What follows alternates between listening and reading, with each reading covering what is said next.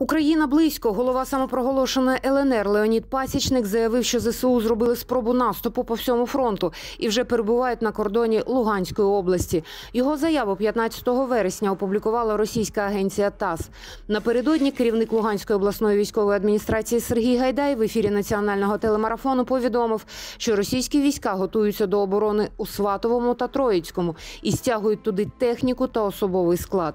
Що відбувається на Луганщині, розбираємось цьому відео.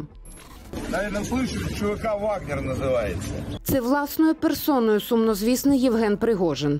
Він особисто вербує російських в'язнів на український фронт. Відео у мережу 14 вересня виклали прихильники Навального, де саме зроблений запис не уточнюється. Ймовірно, це шоста виправна колонія в республіці Маріел. І крім того, що це прямий доказ, що Євген Пригожин не лише особистий кухар Путіна, це ще і його власна явка з повинною. Первые заключенные, которые воевали со мной, это было 1 июня. Штурм Угледарской ТЭЦ. 40 человек из Питера. Строгий режим. Рецидив. 40 человек зашло в окопы противника, вырезали его ножами. Тепер і цих рецидивістів найманців Пригожин відправить гарматним м'ясом на український Донбас. Скоріше за все, саме у Луганську область. Там уже все керівництво самопроголошеної республіки кілька днів заявляє про те, що ЗСУ підійшли впритул до її так званих кордонів.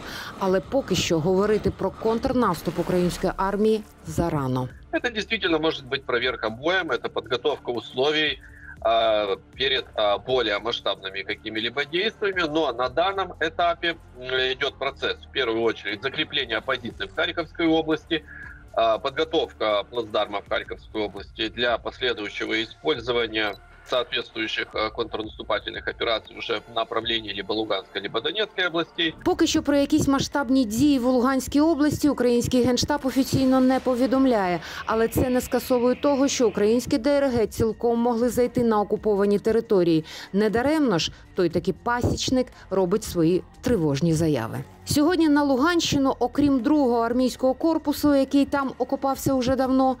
Росія ввела 35-ту окрему мотострілецьку бригаду, 305-ту артилерійську бригаду і 90-ту танкову бригаду. Це те, з чим доведеться мати справу на передовій. Аби український контрнаступ на Луганщині був таким же успішним, як і в Харківській області, потрібен контроль над Сватовим.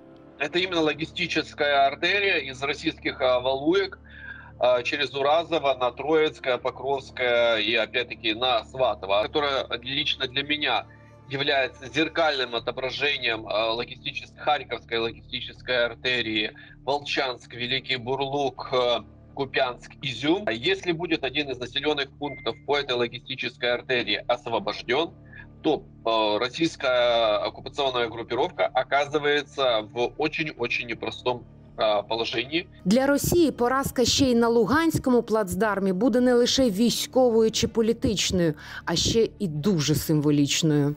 Они говорят о том, что вот эта вся военная операция по минимуму это помощь, э, помощь молодым республикам. Так вот, если ВСУ уже на территории во- молодых республик или Крыма, то значит военная операция совсем не удалась. И это нельзя будет продать никому никак. Они не могут выйти на границы, но если они потеряют кусок границ, которые были на 24 февраля, тут уже продать операцию будет невозможно. Поки що на Луганському напрямку експерти роблять лише обережні припущення. Але на Луганщині вже створено обласний штаб з деокупації територій. Як сказав голова ОВА Сергій Гайдай, готуємо структури до повернення додому, щоб оперативно відновлювати життєдіяльність у громадах. А що думаєте ви? Пишіть вашу думку в коментарях та підписуйтесь на наш телеграм-канал Черговий по Донбасу, щоб ви першими дізнаватися про події на сході України.